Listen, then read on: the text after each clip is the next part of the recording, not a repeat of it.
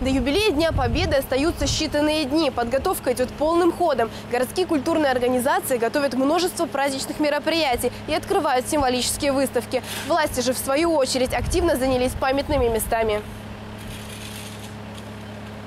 Масштабную работу по реставрации памятников в Перми начали еще с прошлого года. И сейчас к майским праздникам специалисты уже завершают финальные работы. Работа была начата еще в 2014 году. Тогда были отремонтированы 13 объектов культурного наследия, посвященных событиям войны. Сегодня в порядок приводят мемориал «Тыл фронту» в Кировском районе, где на постаменте установлены знаменитая «Катюша», а также бронекатер АК-454 и мемориал «Скорбящий» на Игошихинском кладбище.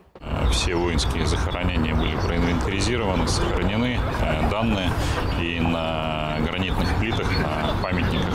Думаю, что, наверное, это одна из самых серьезных работ, которая была проделана в городе Перми при подготовке к 70-летию победы советского народа в Великой Отечественной войне.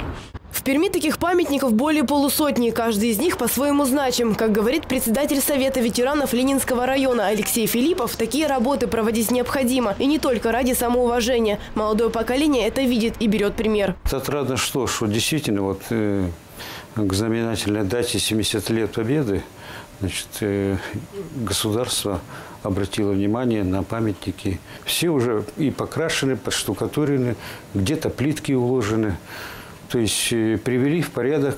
И если мы к 9 мая такому большому празднику это сделаем, это большая заслуга будет. Реконструкция памятника очень важна, чтобы молодежь обращали внимание и знали, что это нужное дело. Памятные места приведут в порядок 6 мая. Татьяна Александрова, Влад Рашидов, телекомпания «Ветта».